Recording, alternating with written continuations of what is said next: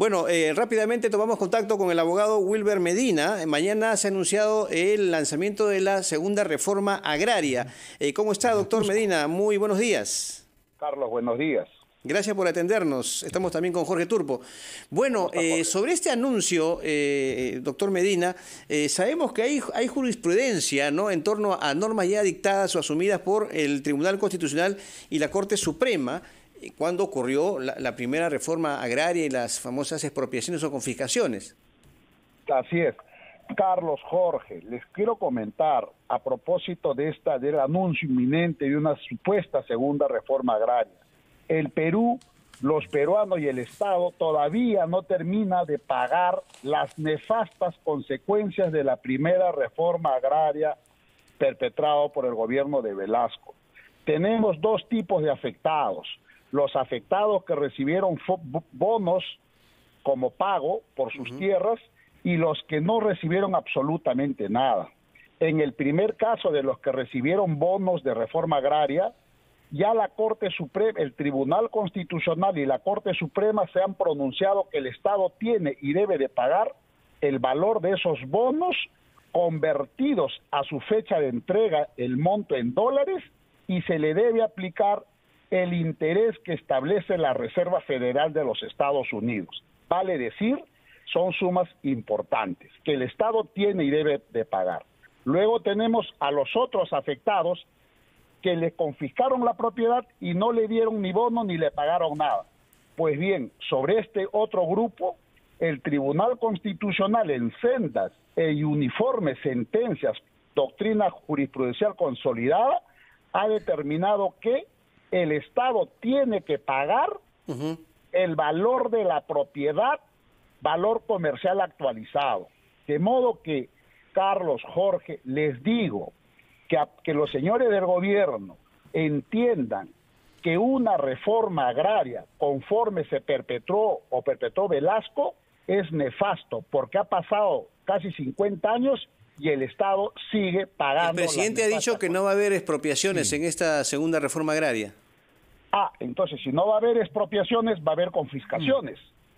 Porque, ojo, es, mm. la, la Constitución establece, garantiza la propiedad privada, salvo la limita mediante la expropiación. Pero para que se dé la expropiación tiene que darle el Congreso mediante una ley y tiene que pagar la indemnización justipreciada, vale decir lo que vale la propiedad.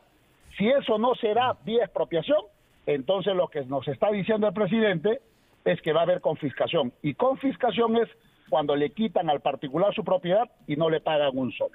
Eso Creemos que más que todo es el título lo que están utilizando, ¿no? El tema de reforma agraria, como un tema más de marketing político que otra cosa, porque, a ver, entendemos que ha, sido claro el presidente en el, sentido de decir que no va a entrar en ese tipo de, situación que usted describe, ¿no? La confiscación o, o también la expropiación. Creo que es el deseo de todos, además, este doctor Medina, ¿no? Lo que ocurre acá, pues, a ver, ¿cuáles fueron las consecuencias nefastas de la reforma agraria?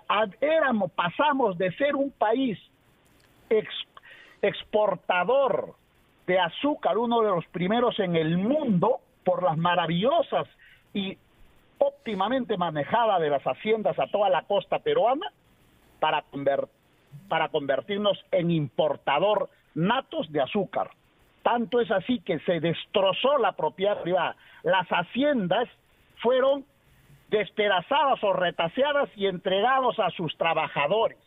Y sus trabajadores con poco conocimiento y con poca capacidad económica simplemente convirtieron grandes campos de cultivo productivos en pequeños latifundios que simplemente lo que hacían era trabajar la tierra para la subsistencia. Eso es lo que hemos pasado. Después de años, el Perú nuevamente ha venido el capital privado comprando las parcelas, las parcelas para sumar grandes extensiones de tierra. Ahora nos anuncian una segunda reforma agraria, lo que quiere decir es que van a privar a las grandes haciendas para dárselas a sus trabajadores y que ciertamente van a terminar eh, eh, liquidando esta actividad netamente productiva como es la agricultura. Muy bien, doctor Medina. Muchas gracias por haber estado con nosotros esta mañana en Ampliación de Noticias. Mañana el lanzamiento de la segunda reforma agraria, un 3 de octubre. Mañana se cumplen 53 eh, años, si no me equivoco, del golpe de Velasco, ¿no? que derrocó a, el entonces presidente Fernando Belaúnde Terry. Fecha significativa y justo mañana ocurre este lanzamiento. Antes de retirarnos, eh, Jorge, les comentamos, viene en enfoque de los sábados todo sobre el gas de camisea, proyecto Tía María y los problemas en el corredor del petróleo en Loreto con el ex ministro de Energía y Minas, Rafael Belaunde, y conversará también Fernando Carballo con Natalia Primo sobre la cuestión de confianza. Hasta aquí llegamos, Jorge. Gracias, como siempre. Un abrazo. Un gusto estar contigo este sábado. Que tengas un lindo fin de semana. Amigos. Igualmente, un abrazo, Carlos. Quédese con nosotros. Viene Fernando Carballo y Enfoque de los sábados.